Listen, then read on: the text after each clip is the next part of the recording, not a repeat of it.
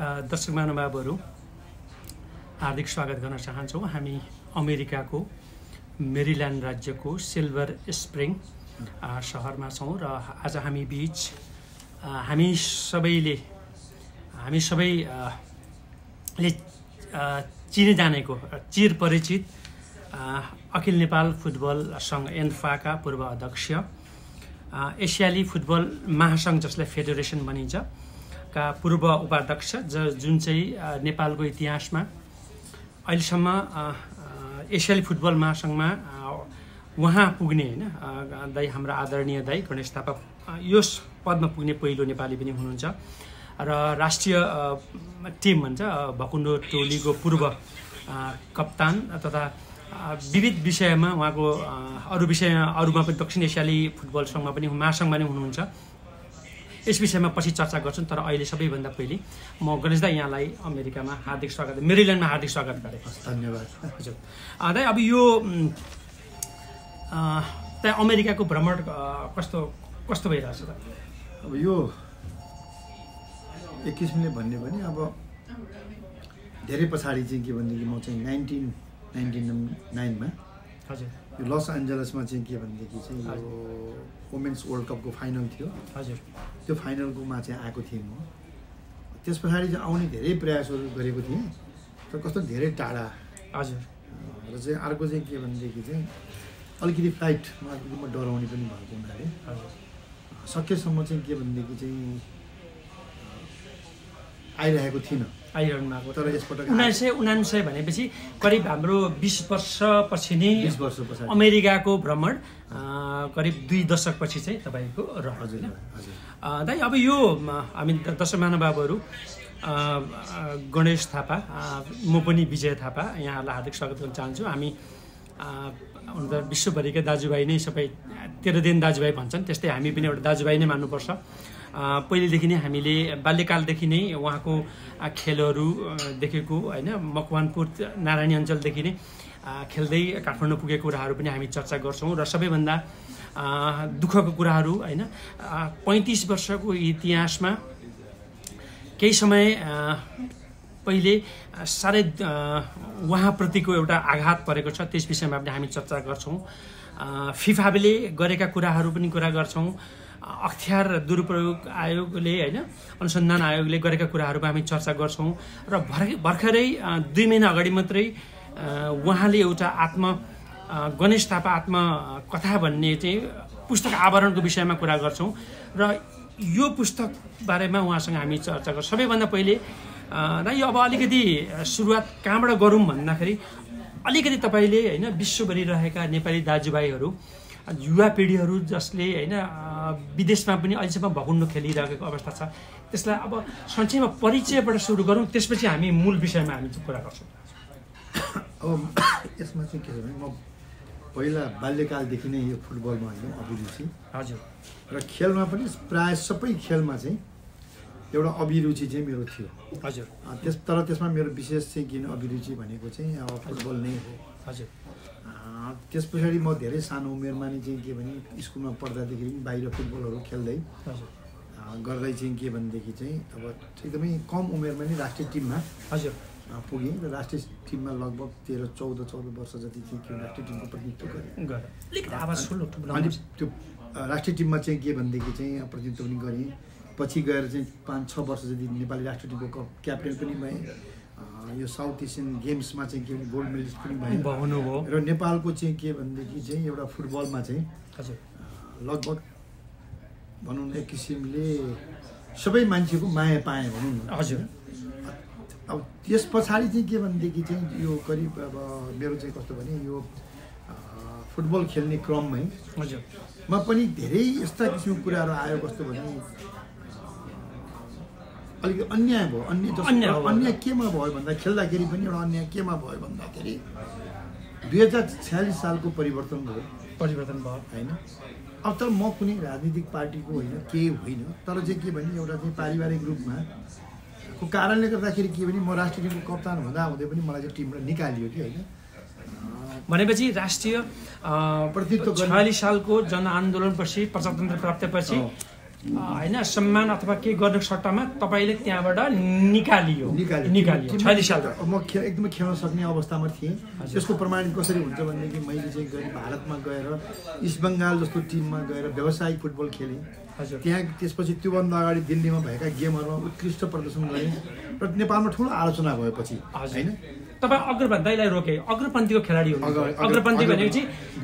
हामीले चाहिँ। रेडियोहरूमा सुन्थ्यौँ कि गणेश थापाले गोल हान्नुभयो भने खालि त्यस्तो मात्रै सुनिन्छ त्यही। त्यही हजुर।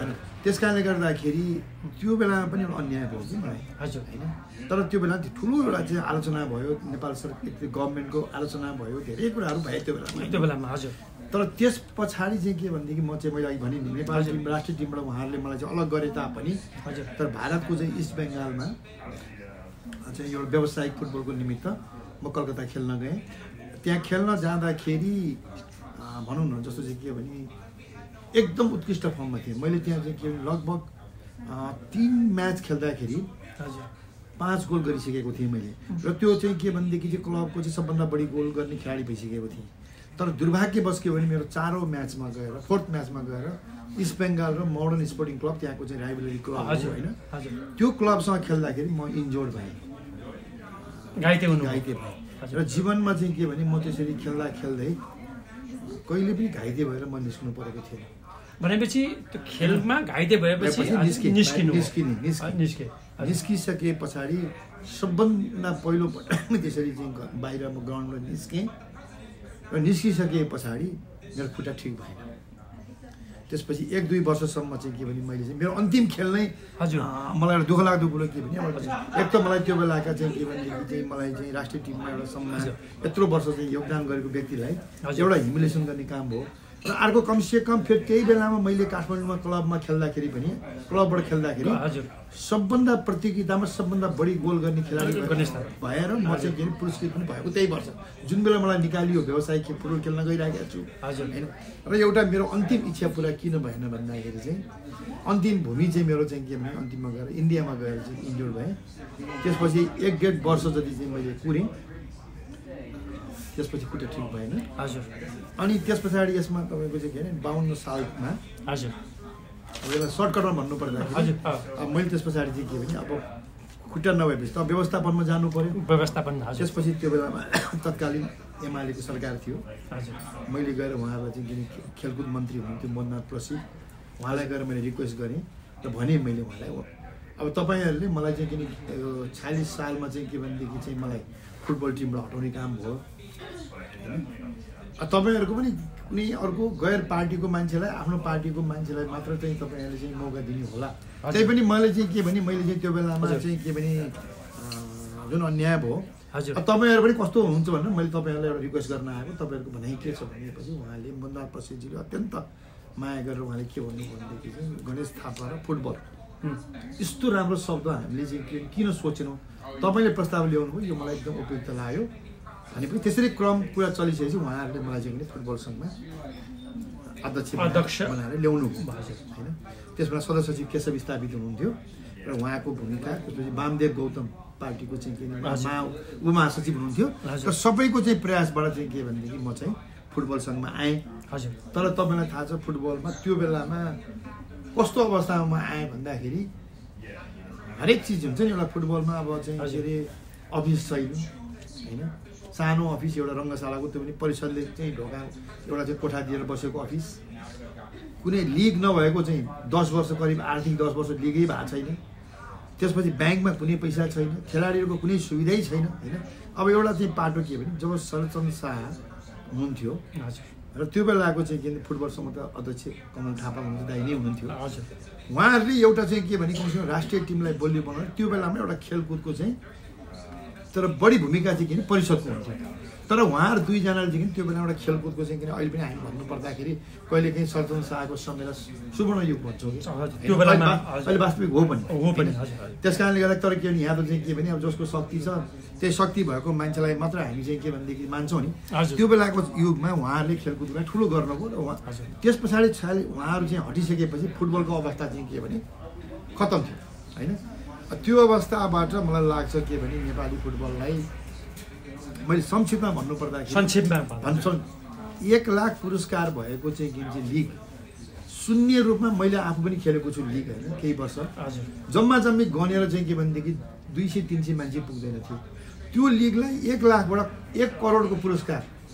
खेलाडीहरूले एक लाख रुपियाँसम्म कमाउने व्यवस्था।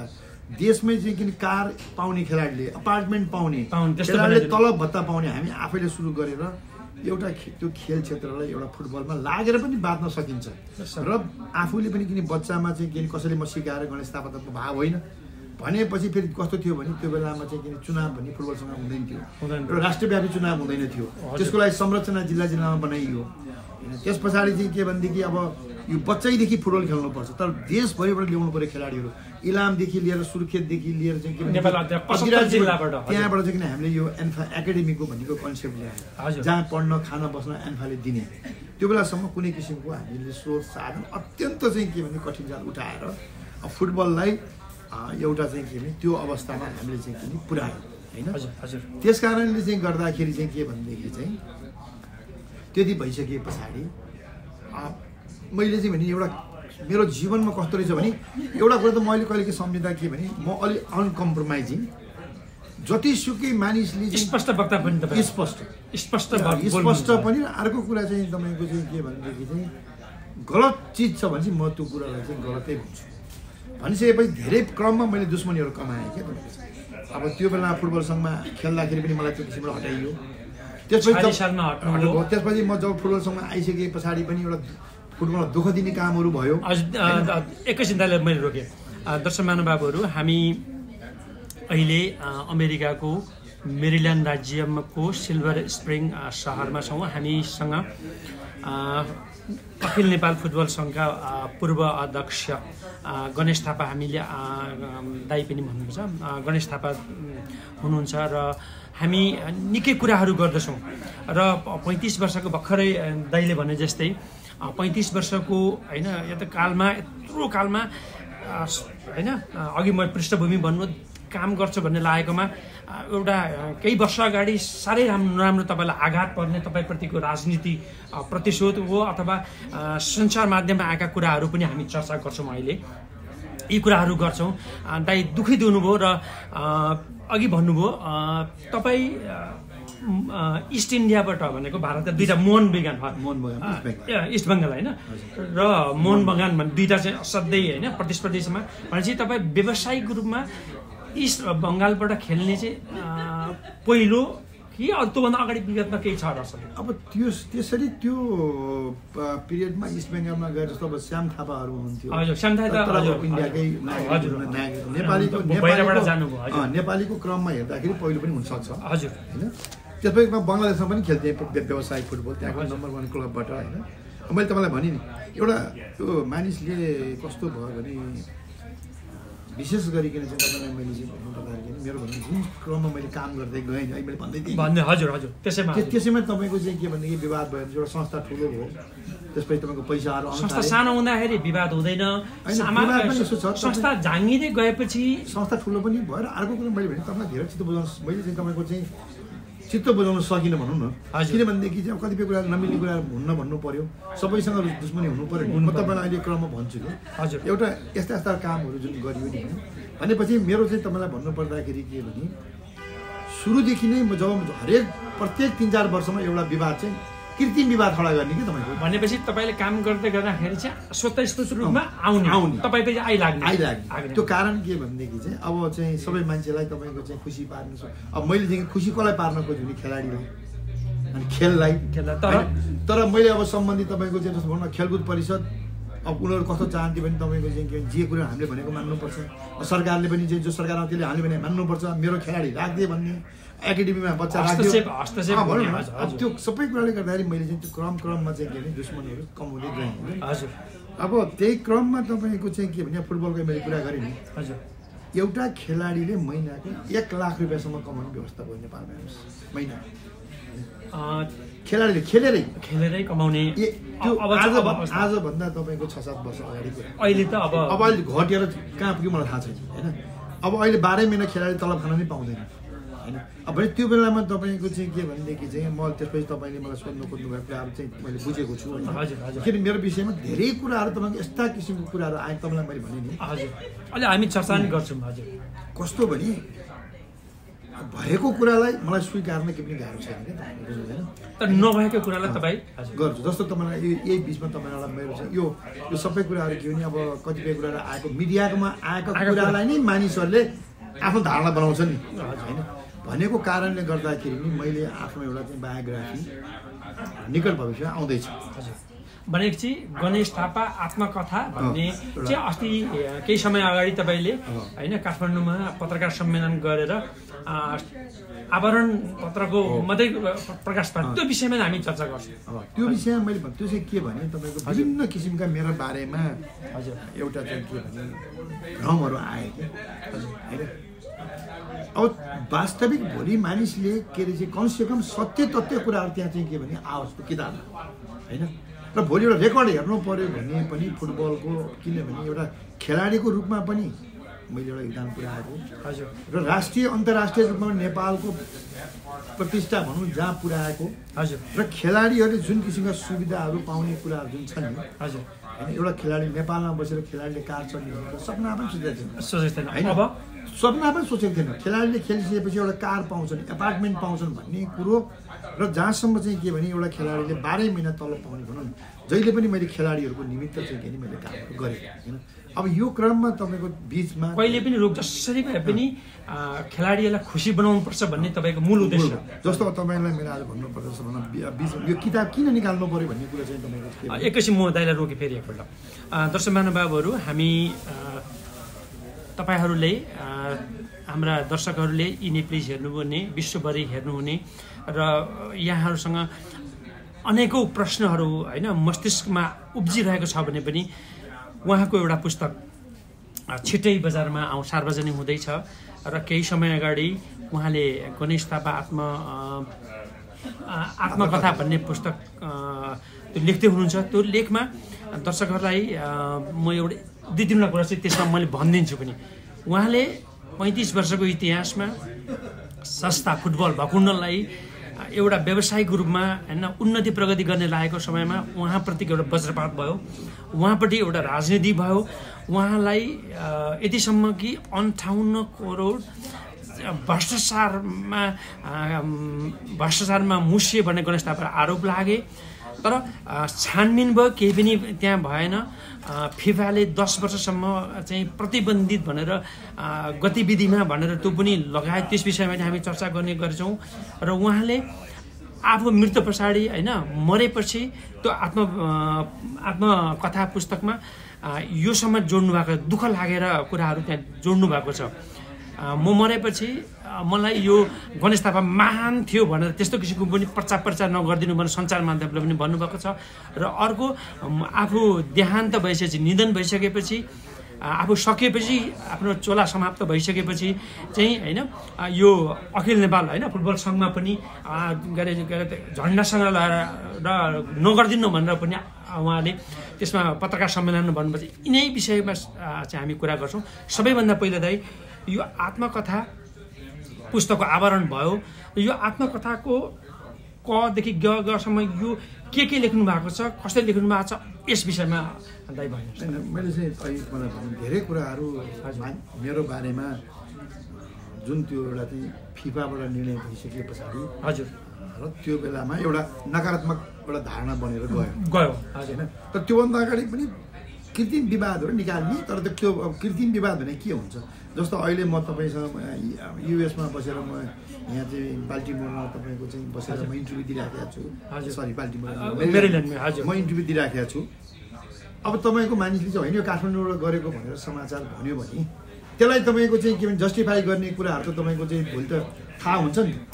त्यस्तै गरेर जीवनमा मलाई तपाईँको चाहिँ करिब करिब चौध पन्ध्र वर्षदेखि नै हरेक किसिमबाट मलाई चाहिँ फुटबललाई विस्थापित गर्ने कामहरू भए? तर कुनै पनि चिजहरू नियत नियतपूर्ण रूपले नियत एकदमै अर्गनाइजिङ रूपले जस्तै अहिले भनौँ न। हजुर हजुर। तपाईँको चाहिँ मैले तपाईँलाई यसमा अलिकति मलाई भन्न भन्न दिनु होला हजुर। के अरे चाहिँ यो अहिलेको तत्काल घटना होइन मलाई कम करिब जुन दिनदेखि जुन दिनदेखि म फुटबल सङ्घमा बाहन्न सालदेखि भएँ त्यसको दुई वर्षदेखि नै मलाई षड्यन्त्र गरेर हटाउने तपाईँको चाहिँ प्रयासहरू भए। बाउन्न सालदेखि। बाहन्न सालदेखि। जुन बाहन्न साल दुई वर्ष पछाडि। दुई वर्ष। होइन? त्यो बेलामा तपाईँको न त्यो जनआन्दोलनको सरकार भएन, होइन? जनआन्दोलन भन्दा पनि तपाईँको यही भ्रष्टाचारका कुराहरू। हजुर। कुराले भने यो कुरा भएन नियम भएन कानुन भएन भन्ने। तर जहिले पनि उहाँहरू तपाईँको किन असफल हुन्थ्यो भने छानबिन हुन्थ्यो छानबिन हुन्थ्यो मैले तपाईँको चाहिँ क्लिन चिट पाउँथेँ जस्तो तपाईँलाई इक्जाम्पलको लागि त्यो सायद नेपालको इतिहासमा भूत न भविष्य हेर्नुहोस् एन्फाले आफ्नै साधन स्रोतले एन्फा कम्प्लेक्स खेल्ने ग्राउन्ड सानो स्टेडियम होस्टेल अफिस बिल्डिङ। जुन तपाईँको चाहिँ आफ्नै साधन स्रोत रङ्गशालामा आएको पैसाबाट उठेबाट उठाएर हामीले त्यो बनायौँ। हजुर। त्यसमा तपाईँको बनाउने क्रममा के भने अत्यन्त सस्तोमा बनाइयो क्या तपाईँको हजुर। होइन ठे- ठेक्कापट्टामा दिएन। सस्तोमा बनाइयो। अब पछि केही प्रक्रियाहरू पुगेन। तपाईँ अध्यक्ष नै हुनुहुन्थ्यो। म अध्यक्ष। हजुर हजुर। म अध्यक्ष भएर त मैले मेरो कार्यकालमा हामीले। गरेको हजुर। अब त्यसरी बनायो। अब यो तपाईँले चाहिँ के भने सबै तपाईँले अब तपाईँ कति बाँच्नुहुन्छ हामी कति बाँच्छौँ। मलाई लाग्छ यो आजीवन हुँदैन भन्ने मेरो ठोको आयो तपाईँको चाहिँ बुझ्नु भएन कि कसैले पनि फुटबल सङ्घले आफ्नै पैसाले त्यो बिल्डिङ बनाउने भन्ने कुरो चाहिँ किन त्यो अहिले बनाउनलाई तपाईँको हिजो मैले त आजभन्दा बिस वर्ष अगाडि ए, पच्चिस वर्ष अगाडि बनाएको कुरा हो। अब त अहिले पन्ध्र बिस करोड रुपियाँ लाग्यो त्यो बनाउनलाई होइन। भनेपछि त्यो पनि यति सस्तो खालि मैले तपाईँलाई यो के कुरा भन्नु खोजेँ भने बनाउने क्रममा मैले आफ्नो घर बनाए जस्तो गरेर हामी खालि बनाएँ सबैले वाह! गरे कसरी बनाएको छ बन्यो यो राम्रो। त्यो भनेर भन्यो होइन? तर पछि गएर कतिपय कुराहरू प्रक्रिया त मिलेन। मिलेन। किनभनेदेखि आफ्नो घर बनाउँदा तपाईँले चाहिँ कतिपय तपाईँले भ्याट तिर्नु भएन होला त्यो बेला भ्याट त्यो बेला भ्याटको व्यवस्था थियो थाहा छैन मलाई। जस ट्याक्स तिरिएन होला त्यो सामान ल्याउँदाखेरि। सिमेन्टी सस्तोमा ल्याइयो होला डन्डी सस्तोमा ल्याइयो होला। ठेकदारलाई तपाईँको चाहिँ के भनेदेखि चाहिँ नदिकन त्यो आफ्नै ज्यालामा ल्याएर काम गरियो होला। र करिब पाँच करोडमा चाहिँ लाग्छ भनेर इस्टिमेट गरेको चिजलाई हामी दुई करोड पन्ध्र लाखमा तयार गर्थ्यौँ होइन? पछि गएर के अरे प्रक्रिया नपुगेको कुराहरू गरेर अख्तियारमा गए केही साथीहरू। मसँगै काम गरेका साथीहरू। होइन? तर अख्तियारले के भने सबै छानबिन गरिसके पछाडि राम्रो नियत र असल नियतले गरेको काम र यो बिल्डिङ चाहिँ के भनेदेखि चाहिँ पाँच करोड घटीमा बन्दैन त्यस कारण यसमा असल नियत बनेको हुनाले यस्तोमा का- के कारवाही गर्ने भनेर अहिले पनि त्यहाँ एक्जाम्पलको रूपमा अख्तियारले दिन्छन् होइन भन्नु खोजेँ। त्यसरी नै तपाईँको हेर्नुहोस् एउटा। अब जस्तो तपाईँले भ्रष्टाचार कुरा गर्नुभयो म सबै जसले हेरेर लाइभ हजुर, अँ। लाइभ हेरिराख्नु भएको छ उहाँलाई- के भन्न चाहन्छु भने त्यस पछाडि तपाईँको चाहिँ के भने बिल्डिङ बनाउने बेलामा फिफाको चाहिँ नियम नै के थियो भने टेन्डर गर्नै पर्ने। बुझ्नु भएन भनेपछि करिब तपाईँको त्यो बेलामा चालिस अँ, चार करोडको चाहिँ तपाईँको चाहिँ कन्स्ट्रक्सनको काम थियो। हामीले धरानमा बुटोलमा च्यासलमा होइन? मेरो दाईको राजनीतिक क्षेत्र तपाईँको मेरो जन तपाईँको हुर्किया बढा ठाउँ हेटौँडा। तर हेटौँडा बनाइनँ मैले। किनभने जहाँ बढी सम्भावना छ फुटबलको ती बनाउनु पर्छ भने धरानलाई छानियो बुटोललाई छानियो र च्यासललाई ठाउँ छानियो होइन? त्यहाँ तपाईँको बनाउँदाखेरि ठेकदारले मलाई ल्याएर ल्याएको दिएको चालिस लाख रुपियाँ। त्यो बेला ठेकेदारले। ठेकदारले। हजुर। किनभने त्यो कमिसन दस पर्सेन्ट दिने नै रहेछ नि त। हजुर। होइन? त्यो बेलामा चालिस लाख रुपियाँ भनेको तपाईँको अहिले चालिस करोड हो। तिस वर्ष अगाडि कुरा गरेको जस्तो। हजुर। तिस वर्ष पच्चिस तिस वर्ष अगाडि कुरा गरेको त्यो पैसा पनि तपाईँको मैले के सोचेँ यो कमिसन भनेको नि घुस हो। हजुर। करप्सन हो यो। भनेर तपाईँको खेलाडी कोषमा लगेर मैले हाल्दाखेरि सम्पूर्ण केही साथीहरू मसँग सबै रिसाए अब यसरी घरमा ल्याएको पैसा पनि यो चाहिँ यो कमिसन पनि लगेर तपाईँको पो काठमाडौँमा घर छ सब चिज छ। हामीलाई दिएको भए तपाईँको हाम्रो पनि त्यहाँ एउटा घर बन्थ्यो हाम्रो एउटा जग्गा आउँथ्यो भनेर त्यो बेलामा सोचेँ। त्यसरी खल्तीमा तपाईँको ल्याएर दिएको ठेकदारले दिएको पैसा त करप्सन हो कमिसनको पैसा त करप्सन हो भने नलिने व्यक्तिलाई जुन किसिमबाट तपाईँको त्यसमा एउटा के यसमा के भने हेर्नुहोस्। अहिले मैले मान्छेलाई अब आम दर्शक दर्शकहरूलाई मैले भन्नुपर्ने गएको छु नि दुईवटा कुरा छ हेर्नुहोस्। फिफाको कुरा भनेको छुट्टै हो। अख्तियार हो। जस्तो यो अन्ठाउन्न करोड भनेर जुन किसिमको उहाँहरूले तपाईँ कुरा गरिराख्नु भएको छ त्यो विषय र फिफामा त्यो विषयको कुनै अनुसन्धान होइन। होइन। त्यो होइन। उसले कारवाही गरेको कुरा के भने जो एसियाली फुटबल महासङ्घका अध्यक्ष हुनुहुन्छ मोहम्मद बिन हमाम उहाँले मेरो पारिवारिक फ्यामिलीलाई उहाँले तपाईँको चाहिँ सहयोग गर्नु। बुझ्नु भएन हजुर। दुई हजार नौमा चाहिँ टु थाउजन्ड नाइनमा सहयोग गर्नु होइन? त्यस पछाडि त्यही कुरालाई पछि तपाईँको जब यो अन्तर्राष्ट्रिय रूपमा तपाईँको जुन किसिमको फुटबलमा एउटा पोलिटिक्स चल्यो त्यो पोलिटिक्समा तपाईँको चाहिँ के भने त्यो पैसा चाहिँ तँलाई त्यो पारिवारिकलाई दिए तापनि यो चाहिँ भोटको किनबेचमा दिएको हो? तँलाई नदिए पनि तेरो परिवारलाई दिएको हुनाले तैँले चाहिँ भोटको भोटको चाहिँ किनबेच गरिस् भनेर मलाई कारवाही गरे। यो अन्ठाउन्न करोडको उसले कारवाही गरे होइन। होइन। त्यस कारणले तपाईँको चाहिँ के भनेदेखि चाहिँ अब त्यो अन्ठाउन्न करोड भनेको तपाईँको चाहिँ कसले ल्यायो म मैले बुझेको छैन। हजुर। होइन। यो अन्ठाउन्न करोड भन्ने चिज तपाईँको चाहिँ के भने के जोडेर अन्ठाउन्न करोड भने- भनेर पत्रिका लेख्यो थाहा छैन। होइन। त्यो पत्र पत्रिकामा आयो। होइन। यो चिजमा तपाईँका मसँगै काम गरेका साथी केही साथीहरू हजुर। होइन? केही पत्रकारहरू र केही राजनीतिज्ञहरू। तिनवटाको तपाईँको चाहिँ यो गरेर एकदम तपाईँको चाहिँ एउटा भन्नुहोस् न यो विषयमा लेखा समितिमा मेरो बारे उजुरी पर्यो। उजुरी पऱ्यो त ठिकै छ तर यो पहिला मलाई एकजना पहिला पहिला पनि साथीहरूले भन्नुभएको थियो कि हजुर। तपाईँको विरुद्धमा लेखा समितिमा चाहिँ यो उजुरी पर्न सक्छ है। मैले जसमा लेखा समिति मलाई थाहा पनि थिएन। के हो लेखा समिति भनेको के गर्छन् थाहा थिएन। त्यहाँ म जाने गएपछि तपाईँको चाहिँ उहाँहरूलाई मैले प्रष्ट रूपमा कडा शब्दमा भनिदिनु। होइन? र मेरो प्रस्तुति उहाँलाई मन परेन। धेरै जो मानिस मेरो पक्षमा थिए नि उहाँहरूलाई पनि यो घमण्डी रहेछ। बढ्दा चाहिँ के भने चर्को चर्को कुरा गर्ने। हामीलाई थर तर्काउने। देशको चाहिँ के भनेदेखि एउटा सार्वौम सत् के भन्छ तपाईँको? सार्वौम सार्वभौम सार्वौम के भन्छ नि त संसदलाई के। हामीलाई हामीलाई लेखा समितिलाई थर्काउने। गिरिजाप्रसाद कोइराला आएर राम्रो भएर बोलेर जानु भएको छ। मैले त्यहाँ च्यालेन्ज गरेको छु भनेको तपाईँहरूले मलाई लगाएका आरोप प्रमाणित गर्नुहोस्। र मैले त्यो बेला के पनि भने यहाँ मेरा दाइका पार्टीका सांसदहरू पनि हुनुपर्छ हुनुहुन्छ। कसैको मलाई सहयोग चाहिँदैन म डराउनेवाला छैन। त्यही नै भन्नु यही नै। मैले त्यो पनि कतिसम्म भने यो देशमा भीमसेन थापाले सेरिएर मरेको देश हो यो। तर गणेश थापा त्यो न त्यो चाहिँ के भीमसेन थापाको सन्तान नभए तापनि मामलीपट्टिको सन्तान चाहिँ हो म। भीमसेन थापा सेरिए तापनि गणेश थापा यस्ता चाहिँ के भन्छ यो विषयमा म लड्छ भेट्छ भनेर त्यहाँ च्यालेन्ज गरेपछि मलाई समर्थन गर्ने मेरा शुभचिन्तक सांसदहरू सबै निस्के। तर जसले तपाईँको त्यो बेलाको मैले नामै लिन के आपत्ति र तपाईँको अहिले हेर्नुहोस् न ठुल्ठुलो चर्को चर्को तपाईँको चाहिँ कुरा गर्छ तपाईँको चाहिँ के भने के अरे रामरी खतिवटा। हजुर। नेपाली काङ्ग्रेसको हजुर। है? जसको उहाँको काण्ड तपाईँ कतिवटा आइसकेको छ मैले अहिले तपाईँको यो विषयमा कुरा आउँछ भोलि भविष्यमा। हजुर। उहाँले तपाईँको चाहिँ के भने सबैलाई चाहिँ समेट्न सक्नुभयो। देख्नुभयो गणेश थापा भनेपछि उहाँहरूले त्यस पछाडि मैले त्यो प्रस्तुति कडा भयो भनिसकेपछि मलाई पनि रिलाइज भयो। ठिक छ नि त ल छानबिन गर। छानबिन भने के हुन्छ हेर्नुहोस् एउटा देशको तपाईँको अहिले हेर्नुहोस् है यो विषयमा तपाईँहरू मिडिया मान्छेले बुझ्नु लेखा सुन्दैन के रहेछ त? अब अरूलाई कसरी छानबिन भयो मलाई थाहा छैन। मैले अरू पछि सबै हेरेँ कि। छानबिन भनेपछि त तपाईँको त्यो उपसमिति बनाउनु पर्यो।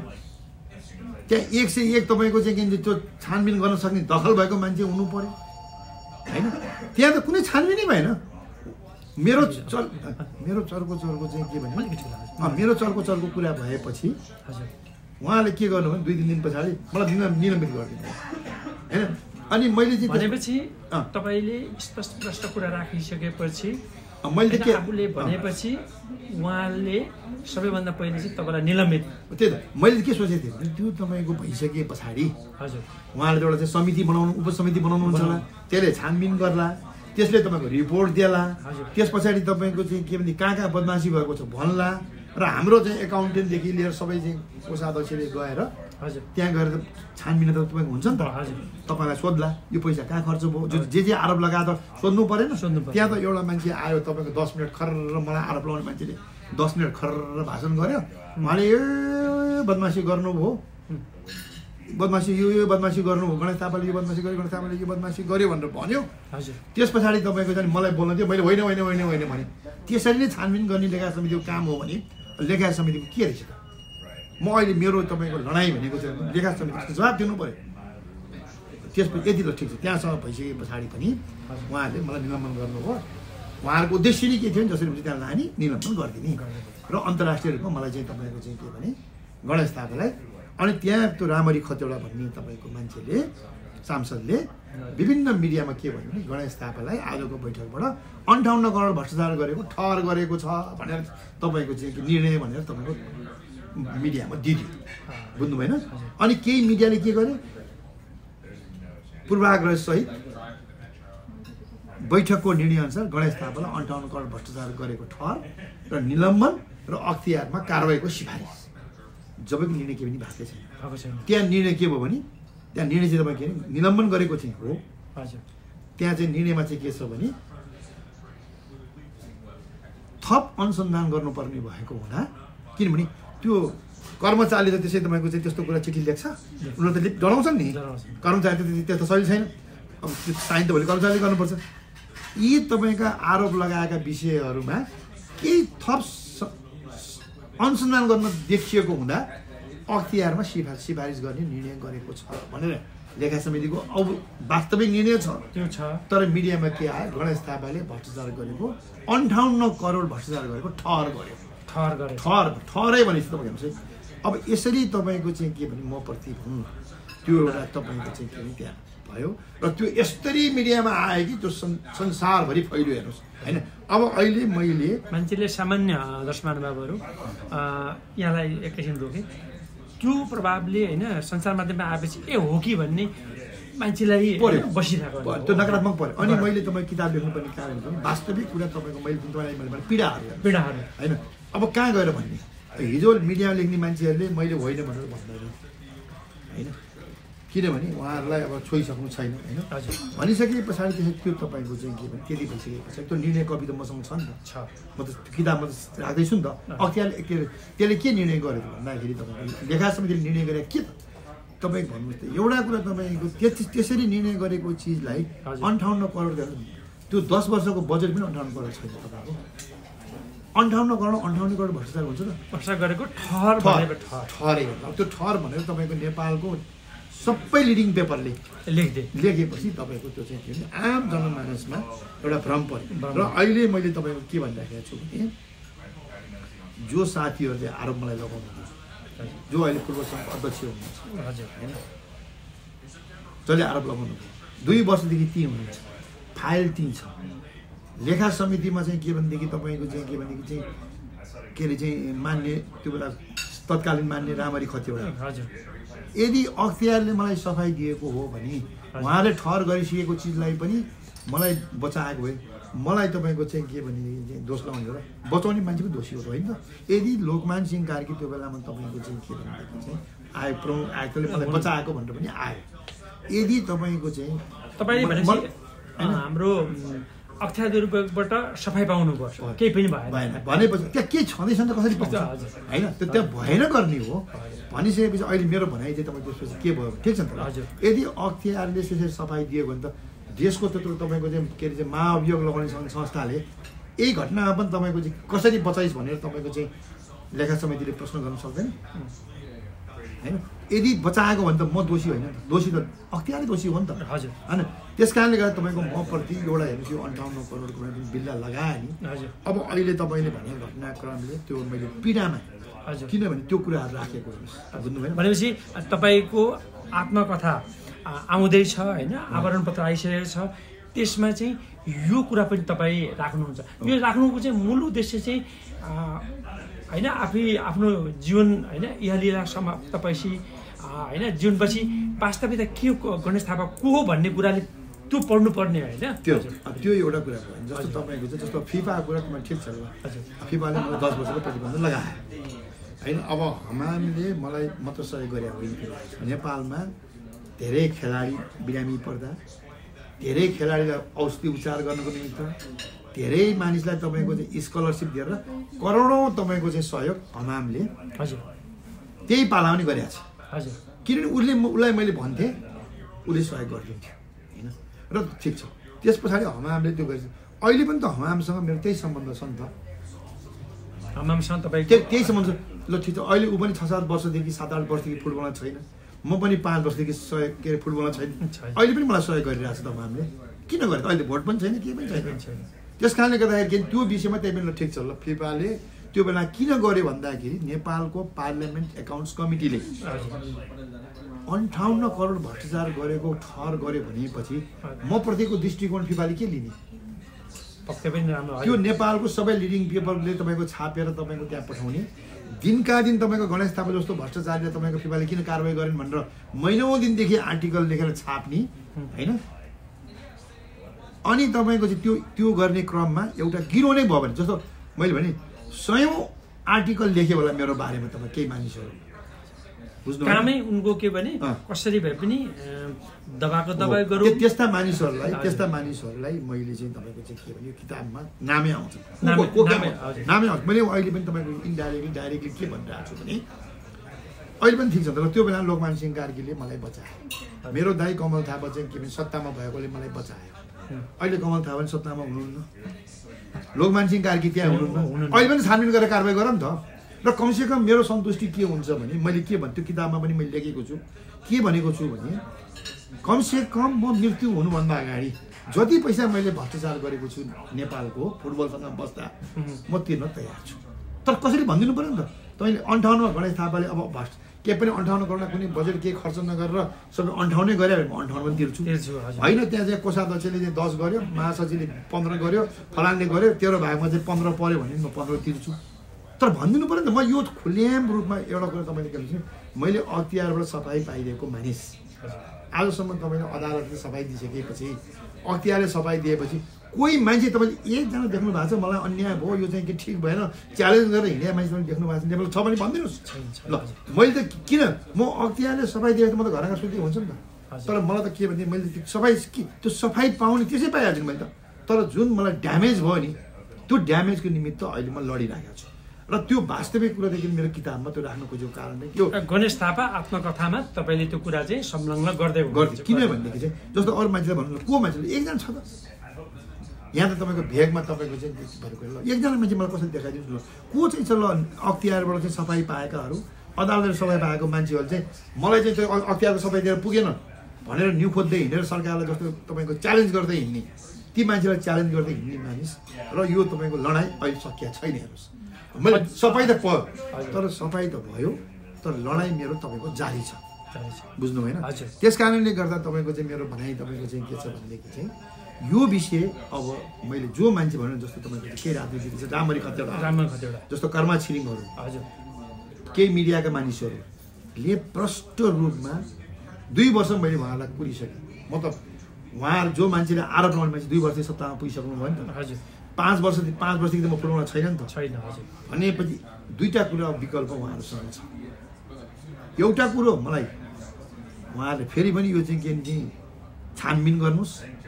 म दोषी भए म कारवाही भोग्न म तयार छु। होइन भने सार्वजनिक रूपमा उहाँहरूले माफी माग्नुपर्छ। मेरो यो लडाइँ छ। किनभनेदेखि म यो तपाईँको चाहिँ यत्तिकै मलाई भनौँ न त्यो चाहिँ त्यो त्यो जुन अरोप लगाएर बदनाम।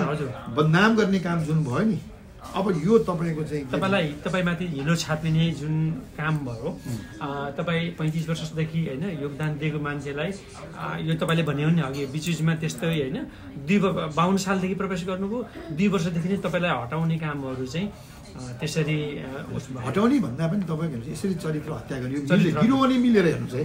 र अब यसमा तपाईँको चाहिँ के भने तपाईँले दाइ एकैचोटि फेरि त्यो भन्नुहुन्छ नि मलाई होइन कुनै पनि मेरो देहान्तपछि मेरो निधनपछि चाहिँ तपाईँले यो मेरो चाहिँ यो मान थियो भनेर नदिनु भन्नुहोस् किन भन्नुभयो? कारण के? त्यो मरेपछि भने के के गर्ने? त्यो मरेपछि मान्छेले तारिफ गर्ने हाम्रो चलन छ नि। मेरो नगरिदियो। कि मलाई तपाईँ गाली गलोज गर्नु गर्नु अगाडिको म बाधा हेर्न त पाउने भयो नि त। हजुर। होइन? त्यो मरेपछि गर्ने। अर्को कुरो तपाईँको चाहिँ मैले त्यो कारण भन्नु किन यिनीहरू यी मान्छेले गर्ने पनि होइन। किनभने मैले सधैँ त यिनीहरू त हुँदैन नि त होइन त्यो बुझेँ त्यो एउटा मेरो पीडा हो। हजुर। त्यो पीडामा भनेको कुरा। पीडामा हजुर। पीडामा बुझ्नु भएन। र एउटा जस्तो अहिले फेरि तपाईँको हेर्नुहोस् है, जस्तो चाहिँ मैले अहिले अचम्म लाग्छ कि एउटा कस्तो एउटा चाहिँ हामी ठुलो स्ट्यान्ड लिएको थिएँ नि तपाईँको फुटबलमा। होइन अब अहिले हेर्नुहोस् जस्तो मैले खेलाडीहरूको तलब भत्ताको सुरु गरेर आठ करोड रुपियाँ फिक्स डिभिजन राखिदिएको थिएँ तपाईँको। मलाई अहिले सबभन्दा चित्त दुख्ने कुरा के हो नि हेर्नुहोस् जुन किसिमले मैले छोडिसके पछाडि यो त हरेक किसिमले त हिजो भएको भन्दा राम्रो हुनु पऱ्यो नि त राम्रो सबै तपाईँको चाहिँ के भनेदेखि चाहिँ स्तर तपाईँको चाहिँ घट्दै घट्दै गयो अब आठ करोड मैले फिक्स डिपोजिटमा खेलाडीको तलब भत्ताको निमित्त राखेको थिएँ त्यो झिकेर आधा खाइसक्यो सिधा आयो होइन अब आधा पनि जान्छ भन्ने मलाई लागेको छ त्यो त्यसपछि खेलाडीको तलब हिजो तपाईँको बाह्र महिना खान्थे अहिले छैन हिजो खेलाडीले अपार्टमेन्ट र पुरस्कार के अरे घर पाउँछ त्यो पनि छैन सिद्धियो सिद्ध अब तपाईँको चाहिँ के अरे चाहिँ अब तलब त्यहाँ खेलाडीलाई दिनको लागि पनि छ महिना चार महिना छ महिना कुर्नुपर्छ। खेलाडीले पाउने पुरस्कारहरू पाउँदैन। र खेलको तपाईँको रङ्गशालामा चाहिँ लिग भइराखेको छ। आफ्नो क्लब अब अध्यक्ष महासचिवहरूको आफ्नो क्लब झर्छ भनेर रेलिगेसन बिनाको लिग गर्छन्। होइन? अब विधान सिद्धान्त जिरो हिजो आएर ठुल्ठुला कुराहरू गरेर आए थिए तपाईँको होइन? यो गर्छौँ त्यो गर्छौँ। यसरी एउटा एउटा अहिले यो पीडा भए पनि मैले आफ्नो स्ट्याटस मार्फत चाहिँ यो कुराहरू गरिरहेकै छु। र मैले अब जहाँसम्म मलाई लगाएको आरोपको विषयमा मैले योभन्दा बढी के भन्नु जो मान्छेलाई लिएर आएर अझ पनि यसलाई अलिकति यसलाई यसलाई यसलाई समराइज गरिदिन्छु। हजुर। जसलाई तपाईँको चाहिँ के भनेदेखि चाहिँ लिएर आएर घरमा लिएको चालिस लाख रुपियाँ त कमिसनको पैसा त नलिने मानिस। मानिस। होइन? अन्ठाउन्न करोड अन्ठाउन्न करोड भ्रष्टाचार गऱ्यो भनेर भन्दा मलाई कति पीडा भयो? त्यो तपाईँ यति बुझिदिनुहोस् कुरा कि जो मान्छेले त्यसै अब मान्छेले हेर्दैनन् बुझ्दैनन् प्रतिक्रियामा गणेश थापा भ्रष्टाचार पनि गाली गर्छ। तर ठिकै छ उहाँहरूले मैले गाली गरेँ पनि कति मानिसहरूसँग म इन्टरेक्सन कुराहरू गरेर उहाँहरूले रिलाइज गर्नुभएको छ।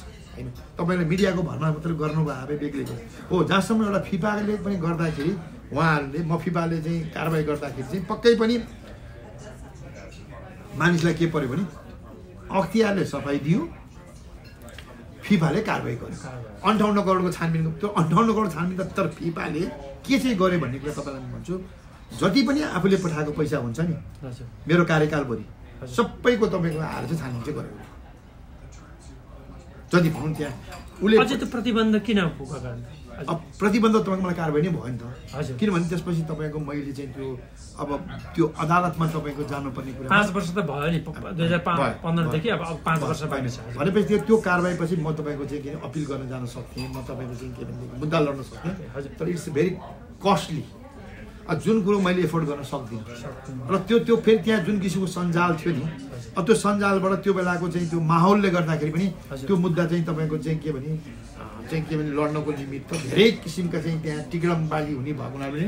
मैले लडिनँ कि अब तर उनीहरूले त्यो मात्र प्रमाणले मात्र मलाई कारवाही गर्न चाहिँ तपाईँको चाहिँ प्रष्ट आधार नभएको कारणले मलाई तिन वर्ष त कारवाही गरेन नि तपाईँको चाहिँ। यो त दुई हजार एघारमा सुरु भएको हो। मेरो तपाईँको चाहिँ 2009 देखि 11 को हिसाब एक एक एघारमा भएको हो। होइन? एघारमा तपाईँको भएको हो। तर तपाईँको कारवाही त पन्ध्रमा भयो नि त अँ, हजुर होइन? त्यसमा किन यही नेपालको तपाईँको प्रोपोगन्डाले किन उनीहरूलाई त्यही मात्र चाहिँ एउटा आधारमा तपाईँको चाहिँ के भनेदेखि चाहिँ मलाई कारवाही गर्ने प्रष्ट आधार थिएन क्या तपाईँको? हजुर। भनेपछि उनीहरू केमा वेट गरिरहेको थियो मलाई कारवाही गर्दा? यो अन्ठाउन्न करोडको उनीहरूले एक वर्ष वेट गरे। बुझ्नु भएन? त्यस पछाडि आफूले पठाएको पैसा के के छ त? त्यो त्यसमा छानबिन गरे। आफूले त हरेक वर्ष उनीहरूले दुई लाख पचास हजार डलर पठाउँथे नि त। हजुर। भनेपछि केही नभने पच्चिस तिस लाख डलरको त चाहिँ के भने कारोबार त भएको छ फिफासँग त्यो चिज तपाईँको चाहिँ के भनेदेखि चालिस पचास लाख डलर। उसले त्यो पनि छानबिन गर्यो। त्यहाँ पनि उसले केही देखेन। नेपाल सरकारले क्लिन चिट दियो। नेपाल सरकारले त दियो। होइन अख्तियारले क्लिन चिट दियो। भनेपछि त्यो बेलासम्म तपाईँको चाहिँ किन यति ठुलो मिडियाले मलाई तपाईँको बदनाम गरिसकेको हुनाले उनीहरूले कारवाही गर्न बाध्य भए। बुझ्नु भएन। अब यसलाई कारवाही नगर्दा भोलि फिफा आफै बदनाम भइन्छ कि? किनभने यति ठुलो भ्रष्टाचार नेपालमा मलाई त होइन अहिले तपाईँको कार्यक्रम मैले गर्दाखेरि पनि मैले को मानिसले पत्याउँछ मेरो कुरा भन्नुहोस् त। तर को मान्छेले भन्दाखेरि बुझ्ने मान्छेले त पत्याउँछ पत्याउँछन् तर केही मानिस अधिकांश मान्छे त मिडिया हेर्छ नि हजुर। सञ्चार माध्यमले जे जे भन्यो त्यही पत्याउने भनेपछि तपाईँको अहिले पनि मलाई लाग्छ धेरै मानिसहरूले हेर्दा तपाईँको अहिले त होइन भन्छन्। कतिले चाहिँ अब भए पनि यसले काम गरिरहेको थियो खायो होला भन्छन्। होइन? भनेपछि तपाईँको चाहिँ के भने वास्तविक कुरा अहिले मैले यति यति ठुलो ठुलो स्वरले यति। यो यो यो हिम्मतका साथ तपाईँको चाहिँ मैले चाहिँ के भने के अरे च्यालेन्ज गरेर जुन हिँडेको छु नि हजुर। किन गरेको छु भन्दाखेरि मेरो आत्मविश्वास हो हेर्नुहोस् र यही कुराले गर्दाखेरि मैले चाहिँ किताब किन लेख्नु पऱ्यो भन्ने कुरामा समग्र भन्नु पर्दाखेरि भोलि एउटा कुनै निष्पक्ष मान्छेले हेऱ्यो भने त मेरो वास्तविक कुरा त अहिले मैले कतिपय कुराहरू म मिडियामा भन्छु नि। दिँदैन नि मेरो कुरा कुरै आउँदैन नि। अब त्यो कुरो नआएको हुनाले भोलि कसैले चाहेर एउटा निष्पक्ष मान्छे पनि त भोलि हुन्छ नि। हेरौँ त गणेश थापाकोले चाहिँ के भने आएर त। भनेपछि भोलि चाहिँ तपाईँको त्यो अवस्थाको निमित्त एउटा रेकर्ड। हजुर। रेकर्ड होस् भन्नुको निमित्त पनि आत्मकथा लेखिएको हेर्नुहोस्। र अहिले पनि तपाईँको चाहिँ कार्यक्रम। नेप्लिज त्यो कार्यक्रम हेरिरहनु भएको दाजुभाइ दिदीबहिनीलाई म के भन्न चाहन्छु भने हजुर। यो पीडा छ नि तपाईँको तपाईँहरूले बुझिदिनुहोस् र कतिले नकारात्मक कुरा गर्छन् नि मेरो बारेमा। मलाई के पनि दुःख लाग्दैन। किनभनेदेखि अब त्यो जुन ढङ्गबाट प्रस्तुत गरिएको छ नि अब तर कतिपय मान्छेहरूलाई मैले पर्सनली भेट्छु नि। उनीहरू मेरो कुरा सुनिसके पछाडि यति ठुलो चाहिँ तपाईँको चाहिँ के भनेदेखि यस्तो नि हुन्छ नेपालमा है भनेर। अब भन्नुहोस् न मैले तपाईँको चाहिँ घमण्ड गरे होइन। त्यहाँ तपाईँ त्यत्रो चिज भन्नुहोस् त्यहाँ। करोडौँ करोडौँको तपाईँको चाहिँ के भन्छ टिकटिङको काम हुन्थ्यो होटेलका काम हुन्थ्यो एउटा तपाईँको चाहिँ होटेलले आएर भन्नुहोस् न गणेश थापाले हामीले त्यो होटेलमा आएर एक चिया फ्रीमा खाएको छ भने फाइभ स्टार होटेलमा कतिवटा टिमहरू राखिन्छ। अब अहिले भन्नुहोस् न मैले पच्चिस डलरमा राखेर चाहिँ टिम तपाईँको अहिले चाहिँ सत्तरी डलरमा राख्छ। डिफ्रेन्सेस हेर्नुहोस्। होइन? त्यो फेरि डलरको हिसाबले तपाईँको त्यो चाहिँ डिफ्रेन्सेस आएको छैन। त्यही छ तपाईँको रेट। डलरको ट्यारिफमा मैले हिजो पच्चिस डलरमा राखेको तपाईँको चाहिँ आज सत्तरी डलर राख्छन् तपाईँको चाहिँ। त्यहाँ तपाईँको ठुलो भ्रष्टाचार भइरहेको छ। अब यो सबै कुराहरू कस्तो छ भनेदेखि तपाईँको फेरि जुन संस्था छ नि खेलकुद मन्त्रालय खेलकुद परिषद। अब उहाँलाई जिउ हजुरी गर्ने मान्छे छन् सबै। होइन? नेपालमा त्यही त्यो जिउ हजुर गर्छ उनीहरूलाई त्यस्तै यस म्यान चाहिएको छ। त्यो हिजो त तपाईँको एउटा चाहिँ अहिले अहिले मैले सुन्छु अस्ति साफ गेम भयो नि। हजुर। सारा मान्छेले त्यो फुटबलका मान्छेले सम्झे हिजो गणेश थापा आज अध्यक्ष भएको भए त्यो सम्पूर्ण कब्जा चाहिँ के अरे फुटबलको जिम्मा चाहिँ गणेश थापाले लिन्थ्यो? र फुटबल सञ्चालन एउटा टिकट नपाएर रोएर हिँडेर तपाईँको फुटबलका चाहिँ जिल्लाका अध्यक्ष राष्ट्रिय टिमका खेलाडीहरू प्रशिक्षकहरू रोएर हिँडेर टिकट नपाएर हेर्नुहोस्। सबै खेलकुद पसलले कब्जा गरे। अब बोल्नुसँग तागत छैन। हिजो त तपाईँ खेलकुद पसललाई फुटबलसँग भनेर कस्तो भएको थियो भने तपाईँको एउटा हुन्छ नि ठुलो तपाईँको चाहिँ के भनेदेखि त्यो घाँडो। किनभने त्यहाँ काउसो। होइन अब अहिले उनीहरू रिलिफ भएको छ हेर्नुहोस् जे गरे नि भएको छ। जसरी सञ्चालन गरे नि भएको छ हेर्नुहोस्। तर समग्रमा तपाईँको अहिले भन्नुपर्दाखेरि। म एउटा तपाईँको फुटबलको मात्र भए तापनि तर आज हेर्नुहोस् त खेलाडीहरूलाई हिजो शरदचन्द्र शाहले तपाईँको चाहिँ के भने हाम्रो देश हेर्नुहोस् न म छक्क पर्छु कि? कहिलेकाहीँ तपाईँको मैले यो कहिलेकाहीँ तपाईँको मेरो कुरा सानो जस्तो लाग्न लाग्छ कि? मन बुझाउँछु। जसले यो देश तपाईँको चाहिँ स्थापना गरे पृथ्वीनारायण शाह त्यसको शालिक भ- भत्काउँछन् भने अब त्यसको चाहिँ तपाईँको सम्मानै छैन भने अब म एउटा जग्गा फुटबलको के हो त? के हो एउटा फुटबल? भनेपछि म कहिलेकाहीँ तपाईँको चित्त बुझाउने बाटो त्यहाँ त्यो छ क्या त। त्यो पनि छ पृथ्वीनारायण शाह जस्तो मान्छेलाई हामी तपाईँको चाहिँ सम्झनालाई पृथ्वीनारायण शाह विषय डिबेट होइन। जसले तपाईँको नेपालबाट चिनायो एकीकरण? गर्यो। देश बनायो। त्यस्तो मान्छेलाई त तपाईँको देशमा तपाईँको सम्मान छैन भने अनि मैले सम्मान पाइनँ भने के ठुलो भन्नु लाग्छ अनि अर्को तपाईँको चाहिँ के भने शरदचन्द्र शाह शरदचन्द शाह। जसले खेलकुदको सारा पूर्वाधार सारा चिज यो साग गेम्स भनेको चाहिँ कसले ल्याएको? यो यसको चाहिँ तपाईँको प्रमुख शरदचन्द्र शाहको तपाईँको मलाई यति दुःख लाग्छ। प्रमुख यो साग गेम्सको तपाईँको रचनाकार हुनुहुन्छ? उहाँलाई यो कुनै सागमा सम्झिने काम पनि छैन र उहाँ मर्दाखेरि पनि हेर्नुहोस् मलाई दुःख लाग्छ। बडा मुस्किलले मैले जबरजस्ती पेलेर चाहिँ यो सम्मान गर्नुपर्छ भनेर रङ्गशालामा लगेको हेर्नुहोस्। अब त्यहाँ यहाँ कसैले कसैलाई सम्मान गर्ने छैन कि? तपाईँको अब अहिले मैले त फुटबलको एउटा सानो गर्दा मान्छेलाई के देश अहिले कहाँ छ हेर्नुहोस् न। हजुर। को कोही मान्छे नेपालीहरू अहिले खुसी हुने ठाउँ छ त? त्यस कारणले गर्दाखेरि त्यसरी नै मैले चित्त बुझाउँछु। तर तापनि तपाईँको चाहिँ जुन किसिमको एउटा भनौँ न आफूले मलाई त यति घमण्ड छ हेर्नुहोस् नेपालमा दसजना मानिस। इमान्दार मान्छे खोजेर ल्याऊ भन्दाखेरि म पढ्छु टप टेनमा भन्ने मलाई लाग्छ। त्यति इमान्दारीपूर्वक मैले काम गरेँ। अब हमामकोसँग मलाई सहयोग गरेको कुरा मैले भने त्यो के भगवान्लाई थाहा- पारिवारिक, कि हजुर। पारिवारिक कुरा त्यो अब पारिवारिक सहयोग जस्तो मैले पनि कति मान्छेलाई सहयोग गरेँ होला? अब त्यो बेलाको एउटा कन्सेप्टमा एउटा चाहिँ त्यो बेलाको समयमा सहयोग भयो होला? त्यही- अब त्यो त्यही चिजले गर्दाखेरि मलाई तपाईँको चाहिँ मेरो कारवाही भयो। त्यस कारण त्यो चिज भनेको भगवान्लाई थाहा छ त्यो बेलामा मैले भोटको लागि लिएको हो कि?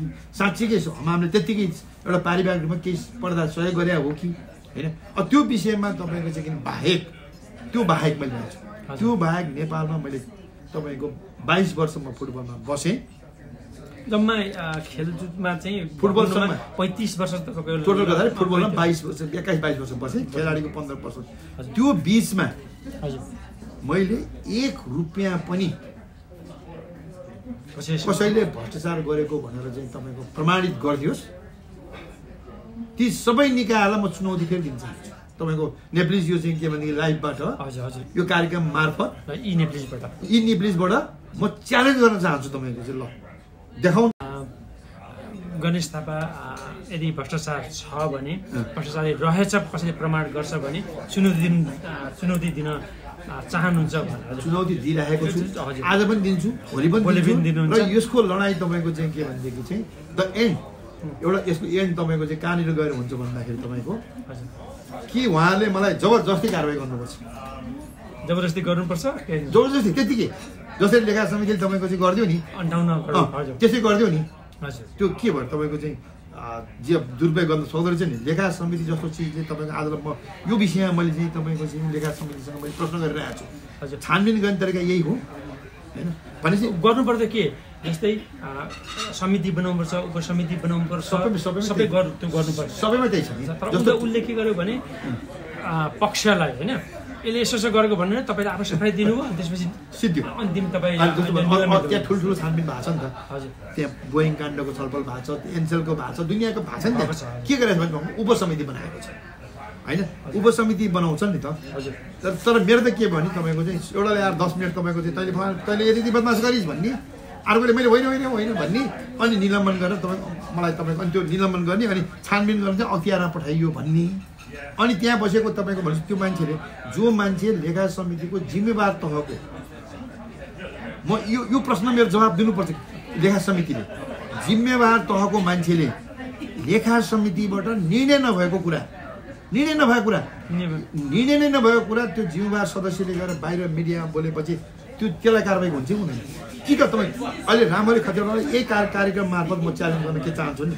तपाईँले चाहिँ त्यो जुन कुरा चाहिँ पत्र पत्रिकामा लेख्नुभयो जसले पत्रिकामा ठहर भनेर लेख्नुभयो ती मानिसले तपाईँको त्यो निर्णय चाहिँ कपी चाहिँ के भनेदेखि ल्याएर देखाउ नि त अख्तियारले के अरे लेखा समितिले गरेको निर्णय। त्यहाँ यस्तो पनि अब तपाईँको मतलब त्यो कारवाही गरेर नपर्ने जे भने अब तपाईँको भोलि एउटा बोर्डकोमा तपाईँको चाहिँ एउटा निर्णय हुन्छ एउटा सदस्यले गरे एउटा निर्णय बाहिर फुक्दै गएपछि त्यो अनुशासनको कारवाही हुन्छ कि हुँदैन? सञ्चार माध्यमलाई फुक्यो अथवा त्यसरी जे लियो किनभने संसद सांसदले त्यो भन्नु गर्दाखेरि आ, सञ्चार माध्यमले पनि पत्या। कुरा तर सञ्चार माध्यमको पनि केही भूमिका त्यहाँ हुन्थ्यो नि होइन। अब सत्य तथ्य सबै कुराहरू प्रमाणित दुइटा कुरा मैले भन्नु एउटा चाहिँ रामरी खतिवटालाई कोट गरेर लेखेँ। केही पत्रकारले तपाईँको रामरी खतिवटालाई कोट नगरेर आफैले पनि लेखेँ। बुझ्नु भएन त्यो हजुर। त्यो कारणले मैले भनिरहेको छु। के त केही पत्रिकाले रामरी खतिवटालाई तपाईँको चाहिँ के भने कोट गरेर अन्ठाउन्न करोड गरे। लेखे उहाँको भनाइ भनेर। तर केही पत्रकार पत्रकार साथीहरूले के भने आफैले लेखा समितिले गणेश थापालाई अन्ठाउन्न करोडको भ्रष्टाचार गरेको ठहर भन्दाखेरि मैले उहाँहरूलाई लगेर तपाईँको चाहिँ त्यो निर्णय कपी दिएको छु। ल निर्णय यो हो र मैले उहाँलाई तपाईँमा अलिकति पनि नैतिकता छ भने पत्रकारिताको होइन एथिक्स छ भने भने हजुर। कमसेकम यसलाई चाहिँ एउटा कुनै न कुनै रूपमा तपाईँले चाहिँ के अरे चाहिँ यसलाई चाहिँ सच्याउनुहोस् निर्णय त यो हो नि त। मलाई कति पीडा हो भन्दाखेरि उहाँ लज्जित हुनुहुन्छ। तर उहाँले आजसम्म पनि त्यो आजसम्म लेख्नु भएको लेख्नु भएको छैन र मेरो अहिले पनि यो भनाइ चाहिँ के छ भने हेर्नुहोस्। अब समग्र चाहिँ के भन्ने कुरामा हजुर। समग्र कुरा मैले अन्तिममा भन्नु पर्दाखेरि के भने नेपाली फुटबलको निमित्त अहिले पनि मलाई दुःख लाग्ने कुरो। गणेश थापाले नेपालमा फुटबल भन्छ। मैले क्याटेगोरीले मैले मिडियालाई सोधेँ के चाहिँ बिगारेँ मैले मैले के एन्फा एकाडेमी बनाएर बिगारेँ कि मैले चाहिँ एन्फा कम्प्लेक्स बनाएर बिगारेँ कि लिगलाई त्यो हाइट पुऱ्याएर बिगारेँ कि खेलाडीहरूको चाहिँ सुविधा सुविधा बनाएर बिगारेँ कि के चाहिँ मैले बिगारेँ? अब के बिगारेँ चाहिँ भन्ने समग्रमा गणेश थापा कार्यकालमा चाहिँ के अरे फुटबल समाप्त भयो। अब अहिले पनि त्यो त्यो चलन छ कि? अब अहिलेकोलाई समर्थन गर्न सकिरहेको छैन। अहिलेका कार्यकाललाई। तर भन्ने बेला के अरे गणेश थापाको पालामा पनि हिजो यस्तै थियो भनेपछि त्यो बच त्यो बचाउने। बचाउने उपाय हजुर। यसले गर्दाखेरि तपाईँको चाहिँ किन आज तपाईँले मलाई जुन एउटा करिब करिब हामी अन्तमा आइसक्यो होला। तपाईँको मैले यसो हेर्दाखेरि। हजुर हजुर। दर्शक महानुभावहरू हामीले अखिल नेपाल फुटबल सङ्घका पूर्व अध्यक्ष कप्तान पनि भन्छु। नेपाल भकुन्डो अ, टोलीकै पूर्व भकुन्डोको भन्छु म। भकुन्डो। भकुन्डो टोलीको पनि हुनुहुन्छ र पहिलोपटक होइन दक्षिण एसियाली खेलकुदमा पनि स्वर्ण पदक विजेता पनि ल्याउनु भयो होइन? व्यावसायिक रूपमा इस्ट बङ्गालमा पनि भारतको प्रसिद्ध उसमा पनि बेस खेल्नुभयो सबै बङ्गलादेश- बङ्गलादेश- बङ्गलादेशको पनि खेल्नुभयो व्यावसायिक रूपमा। र यो जाँदा जाँदै स्मरण गर्ने कुराहरू होइन? पैँतिस वर्षको जीवन जीवनमा सानो सानोतिनो त भुवाङहरू त परिरहेको थियो पाल परिरहेको थियो। तर यो यो पछिल्लो जुन अन्ठाउन्न करोड भनेर जुन लगाइदियो नि त्यो माका लगाइदियो नि त्यसले चाहिँ दाइ मुटु छिया छिया नै पऱ्यो भाइ। त्यसले एक त्यसले एक पीडा होइन भयो। ठुलो पीडा छ जीवनभर अब केही दिन समयपछि त त्यो त होइन हट्न पनि सक्छ नि। होइन त्यो हट्नको निम्ति मैले तपाईँको सोचिराखेको छु। होइन। किनभने अब खा नखाएको बिख लाग्दैन होइन? नखाएको बिख त लाग्दैन नि भाइ होइन? त्यस्तो किसिमको जस्तो अहिले मैले उहाँलाई त तपाईँ एउटा कुरा मैले उहाँलाई चुनौती दिइराखेको छु। राम्ररी कतिवटा। हजुर र चाहिँ त कर्मा छिरिङ हो। हजुर। जसले तपाईँको आरोप लगाउने मैले भने तिनवटा समेत उहाँहरूलाई मैले चुनौती दिइराखेको छु। उहाँहरू कानमा ती के तेल हालेर बस्या भन्छ नि देखाउने ठाउँ जस्तो अर्को कुरो तपाईँ के छ भने हिजो एउटा अलिकति देशमा कानुन त्यो विषयमा कानुन अलिकति कमजोर थियो। हजुर। अब अहिले त तपाईँ के छ भने अब हिजोको जस्तो सजिलो छैन उहाँहरूलाई। अब त मलाई हिजो जस्तो आरोप लगायो भनेदेखि त त्यो त्यो आरोप प्रमाणित भयो भने उहाँहरूलाई कारवाही हुन्छ। अब उहाँ जानै सक्नुहुन्न। अब त तपाईँको झुटो हिजो पो तपाईँको जसलाई जसलाई जे जे मन लाग्यो झुटो आरोप आइ लाग्दै पनि कानुन थिएन उहाँहरू जानुभयो। मैले भने अब जाउँ नि त ल अब तिमी गइसकेपछि के हुन्छ भने आइदर मलाई कारवाही हुन्छ या तिमीलाई कारवाही हुन्छ। दाइको अडान भनेको चाहिँ जबसम्म होइन अझै पनि चुनौती उहाँलाई दिनु भएको चाहिँ मलाई जुन नित मिथ्या जुन। होइन कपोल कल्पित र नियतवश त लगाएका कुराहरू चाहिँ बक्नुपर्छ कि कारवाही गर कि नभए माफ भन्ने कुरा सार्वजनिक- रूपमा विकल्पै छैन। विकल्पै छैन। भनेपछि तपाईँ अन्तिमसम्म अन्तिम अवस्थासम्म पनि यसैमा होइन लागिरहनु छ यो त यो त तपाईँको अब चाहिँ के भनेदेखि चाहिँ अन्तिम समय होइन मेरो अब यहाँबाट गएर फर्किएपछि यो एउटा एग्रेसिभली अगाडि बढ्छ। अब यसको तपाईँको चाहिँ के भनेदेखि उहाँहरूलाई तपाईँ यसै विषयमा उनीहरूले आम रूपमा यो गरेको होइन यो गणेश थापा ठिक थियो भन्ने कुरा तपाईँहरूलाई चाहिँ भनिदिए अथवा प्रमाण ऊ गरिदिए भने चाहिँ तपाईँले उनीहरूलाई चाहिँ मैले माफ गरिदिन्छु। होइन। जस्तो त्यसमध्येमा तपाईँलाई मैले भनेर त्यसमध्येमा कर्मा छिरिङ जो चाहिँ यसको चाहिँ प्रमुख मान्छे हुनुहुन्छ अहिले फुटबलको अध्यक्ष पनि हुनुहुन्छ। अब उहाँले चाहिँ तपाईँको चाहिँ एउटा कार्य समितिको बैठकमा उहाँले माही माग्नुभयो। बुझ्नुभयो? त्यो पनि माही माग्नुभयो। कार्य समितिको बैठकमा मायाबीज त सक्यो नि। त्यो मागे हेर्नु कस्तो थियो दुर्भाग्य हेर्नु। उहाँले माही मागेको कुरो कुनै मिडिया एउटा मिडियामा आयो। कुनै मिडिया किनभनेदेखि त अब त्यो माही माग्नुभयो र त्यो त्यसको रेकर्ड छ फेरि तपाईँको। उहाँले बोलेको अन रेकर्ड छ। होइन? अनि अनि उहाँले त के भन्नुभयो? बेलुका उहाँलाई सबैले झपारे। पत्रकारले पनि झपारे।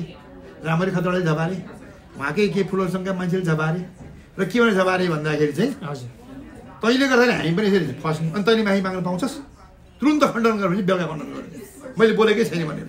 अब यस्तो किसिमको मानिसहरू अब जो कुरो तपाईँको अहिले पनि त्यो अन रेकर्ड छ। बुझ्नु भएन त्यहाँ अहिले त्यो फुटबलसँग भएका पदाधिकारी उनान्सय प्रतिशत त्यही छन्।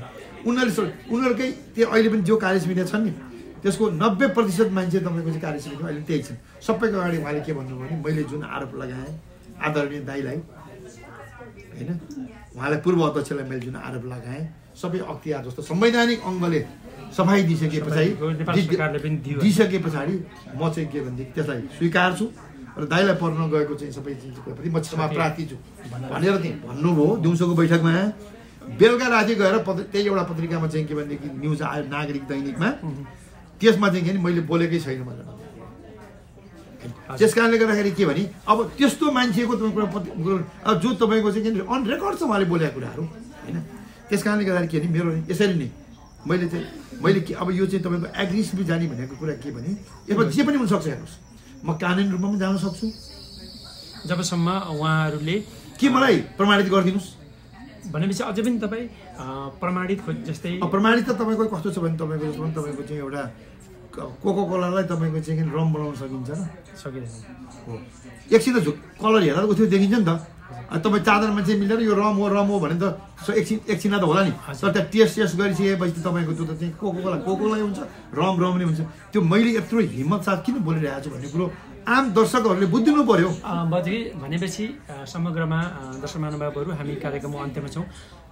आत्मसम्मानको कुराहरू पनि भयो। पैँतिस वर्षको होइन जीवन समर्पित एउटा खेलकुदमा लाग्दाखेरि अन्त्यमा गर्दा पुरस्कृत हुने सट्टामा चाहिँ तपाईँ चाहिँ होइन तिरस्कृत र तपाईँलाई आघात पुर्याउने सबैभन्दा चाहिँ तपाईँलाई भित्री हृदयमा लागेको कुराहरू हुन् है।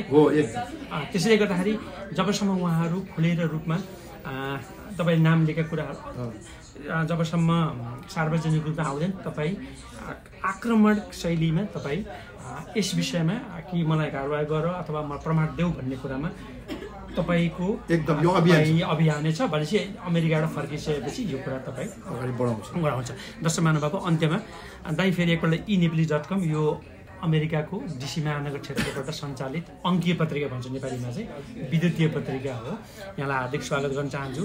जाँदा जाँदै एकपल्ट फेरि विश्वभरि होइन यी नेप्लिज हेर्नुहुने दर्शक महानुभावहरूलाई तपाईँप्रतिको होइन जुन पत्र पत्रिकामा आएको कुराहरू नकारात्मक थियो ती दाजुभाइ दिदीबहिनीहरूलाई एकपटक संक्षेपमा भन्दै हामी बिराम आउँछौँ होइन अब यसमा मैले भन्ने कुरा चाहिँ सबै भनिसक्नु सबै भनिसकेको छु। यसैमा के भनेदेखि चाहिँ यो तपाईँको जुन पीडा बोकेर मैले हिँडेको छु कमसेकम तपाईँहरूले चाहिँ के भने यसलाई चाहिँ के भने एकपल्ट मेरो कुरालाई गहन गरेर सुनिदिनु होला। हजुर। होइन? र मेरो कुरालाई तपाईँको चाहिँ के भनेदेखि चाहिँ अलिकति चाहिँ ध्यानपूर्वक सुनिदिएर कमसेकम तपाईँको फिडब्याक होइन अब मलाई अहिले तपाईँको चाहिँ मलाई त तपाईँको चाहिँ नेपाल सरकारको के अरे सफाइ चाहिएको होइन। अदालतको सफाइ चाहिएको होइन। त्यो सबैबाट मैले पाइसकेको छु। भनेपछि मलाई त तपाईँको सबभन्दा ठुलो कुरा त के भने आम। जनता जनताले- अब कतिपय मेरो फिफाले मलाई त्यो हमामले मलाई सहयोग गरेको कुरालाई जुन ढङ्गले मलाई गर्दाखेरि पनि म तपाईँको चाहिँ के अरे उहाँहरूलाई केही पनि मेरो टिप्पणी टिप्पणी छैन। किनभने सहयोग त गरेकै हो हमामले। अब त्यसलाई मलाई फिफाले कारवाही पनि गरिसकेको अब। तर अन्ठाउन्न करोडको त यो तपाईँको चाहिँ के भनेदेखि चाहिँ अङ्क जोडेर के तपाईँको अन्ठाउन्न करोड? कसरी अन्ठाउन्न करोड? यदि पैसासम्म पनि छ कि? आर्थिक अनियमितताका कुराहरू होइन भनेपछि अ, दर्शक महानुभावहरू फेरि हामी अन्त्यमा छौँ। गणेश थापा जसलाई हामीले धेरै कुरा पनि परिचय गराउन चाहन्न। बिचमा राजनीतिमा भनेको माननीय पनि हुनुभयो तर राजनीतिहरू काम गर्ने त्यति मन नलाग्यो भनेर त्यो कुरै गर्न चाहनु भएन। अमेरिकाको भ्रमणमा हुनुहुन्छ परिवारसँग आउनुभएको छ। यी नेप्लीसँग यो वार्तालाप धेरै रमाइलो भयो राम्रो भयो धेरै कुराहरू स्पष्ट पार्नुभयो। अझ पनि म भन्छु यी नेप्लिज हामी अमेरिकामा अ, ज्यादै अम, लोकप्रिय रूपमा छ र यहाँले कुरा राख्नुभयो यो लाखौँ मान्छेले हेर्छन् भन्ने पनि हामीले सुनेको मतलब लाग्छ। म अझै पनि आजसम्म पनि मलाई हिजोसम्म पनि म आफै पनि एउटा पत्रकार भएको नाताले दाइको बारेमा आज जुन स्पष्ट पार्नु भने म पनि तिस प्रतिशत चालिस प्रतिशत चाहिँ दाइले आज पनि स्पष्ट बनाइदिनु म म आजदेखि स्पष्ट भएको म म यो दाइलाई पनि भन्न चाहन्छु। र जाँदा जाँदै हामी यसमा मलाई दुई मिनटमा राजनीति कुरा गर्नुभयो हजुर कुरा यसमा मैले खालि एउटा कुरा के यो कस्तो हुँदो रहेछ त भने यो मिडिया भन्ने चिज चाहिँ। हजुर। अब हुन त राजनीति त मेरो एउटा त्यो एउटा। बस्नु यसो माननीय बस हजुर। प्रशंसा बस। तपाईँको चाहिँ के भने त्यो कारण चाहिँ के थियो भने अब मेरो त्यसमा प्रश्न थियो क्या तपाईँको चाहिँ त्यो। राजनीतिको त्यो एउटा के थियो भनेदेखि चाहिँ अब मलाई चाहिँ एउटा चाहिँ मुलुकमा। अब कहिलेकाहीँ त्यो इच्छा लाग्दो रहेछ तपाईँको हजुर अब खेलकुद भइराख्दाखेरि त्यो बोल्न पनि अलिकति नपाइने होइन अब फेरि। अनि फुटबलमा तपाईँको भइरहेको बेलामा मैले चाहिँ राजनीति कुरा गर्न पनि मलाई अलिकति अप्ठ्यारो लाग्ने। राजनीति यहाँ गइसके फुटबल गएपछि मलाई दुई तिनवटा कुराहरू चाहिँ मलाई तपाईँको चाहिँ असाध्यै तपाईँको चाहिँ खड्किरहेको थियो एउटा कुरा जति अब मलाई के आशा होइन हेर्नुहोस् म त फेरि तपाईँको एउटा अहिले तपाईँले विडम्बना छ अब विडम्बना छ कि? राजाकै साई कालमा। म खेलकुद परिषदको उपाध्यक्ष मलाई हटाइदिए हेर्नुहोस्। बुझ्नु भएन तर मलाई चाहिँ के छ भने म एउटा चाहिँ यो राजा नेपालमा चाहिन्छ भन्ने मान्छे क्या बुझ्नु भएन अब यो विचार आफ्नो हुन्छ। अब मलाई चाहिँ किन यो छाप पऱ्यो भने के पनि होइन राजाले के दिन्छन् भनेर पनि होइन राजा तर राजा भयो भने चाहिँ नेपाल चाहिँ नेपाल रहिरहन्छ है। भन्ने एउटा तपाईँको त्यो एउटा मलाई चाहिँ मनमा परेको। हजुर। त्यो एउटा कारण अर्को एउटा हिन्दू राष्ट्र।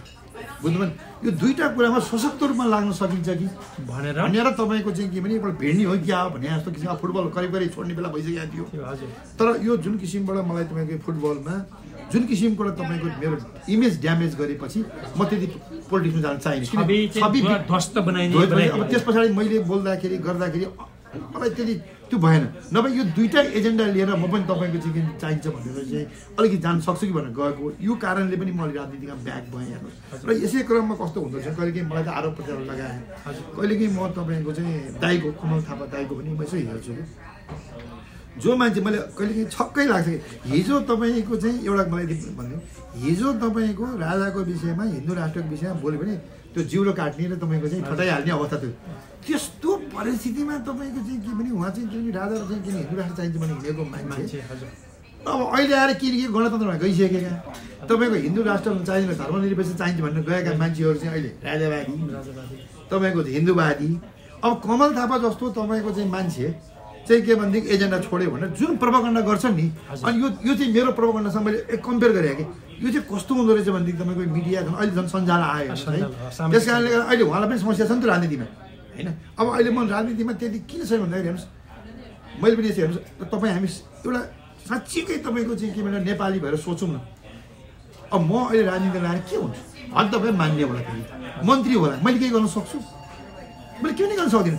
मेरो व्यक्तिगत रूपमा मेरो परिवारलाई गर्न सकौँला मैले मान्ने भएर तपाईँको चाहिँ तलब फेरि तलब म त मान्ने होइन तलबबाट खाइनँ भने जम्मै जनतालाई बाँडिदिएँ क्या भएन?